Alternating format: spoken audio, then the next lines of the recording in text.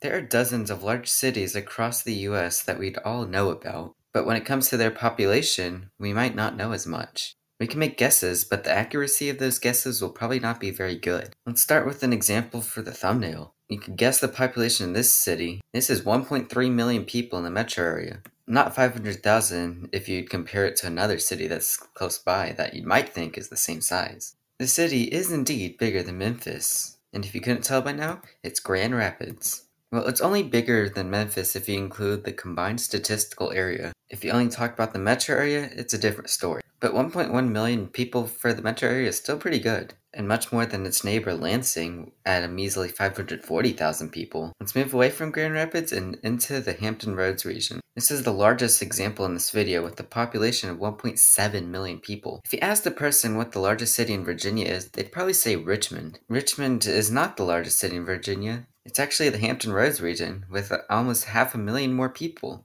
But that's a lie. I just lied to you. You see, the Hampton Roads region is actually the second largest city in Virginia. Wanna know what the first is? Washington, D.C. Yes, I really just said Washington, D.C. is the largest city in Virginia. Well, the Virginia side of the Washington, D.C. metro is the largest city in Virginia. The Virginian part of D.C. is actually contains 3 million people, which is over a million more than second place Hampton Roads think the reason that most people think the Hampton Roads isn't that big is as they think of it as one medium-sized city, not four. And combined, these cities make the Hampton Roads region with almost 1.8 million people. Now we're going to go through a few twin cities, kind of like Dallas, Fort Worth, or Minneapolis, St. Paul. First, we have Greensboro, Winston-Salem. You can throw in Burlington and High Point if you want to be fancy. Now, Winston-Salem and Greensboro are right in between Raleigh and Charlotte, which are two much larger metro areas. And the area kind of does get overshadowed by both of these cities. I do have a video on this topic. We're going to keep looking at twin cities, but the population is going to go low, low, low, low, low, low, low, low. Anyway, we're looking at Fort Myers, Cape Coral, and maybe Naples. Now, Fort Myers is in Florida, a state rich in big cities.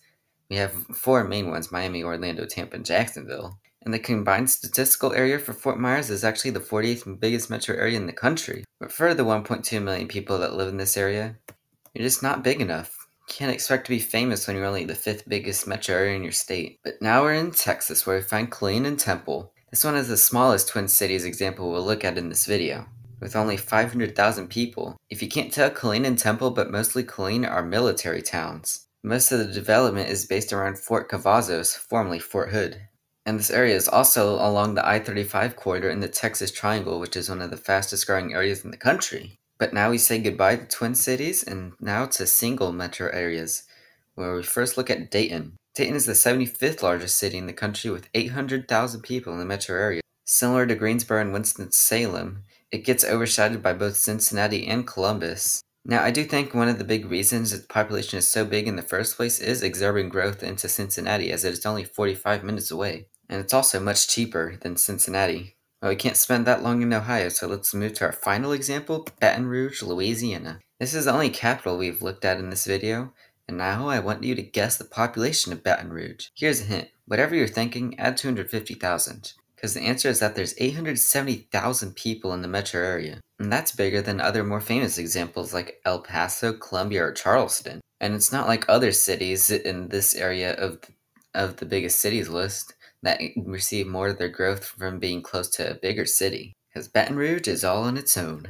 You might be saying, but wait, what about New Orleans? New Orleans is actually disconnected from Baton Rouge, unless you call farmland along the Mississippi River as connected urban growth. So those 870,000 people in Baton Rouge are all by themselves. And here's something crazy.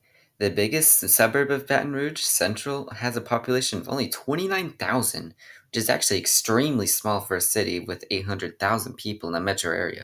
Now, I'm not sure if this proves more that Baton Rouge is a big city with small suburbs, or if Wyoming is just a really sparsely populated state. Either way, those are all other examples.